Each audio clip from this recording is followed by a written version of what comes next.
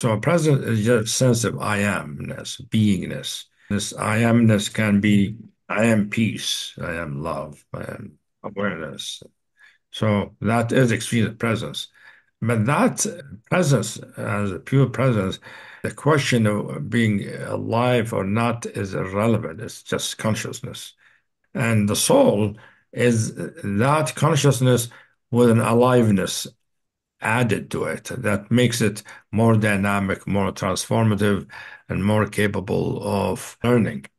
Because a pure presence cannot learn, it stays what it is. You don't have to fix it, it's already done. Already complete in ah. itself. The soul is always completing itself by learning.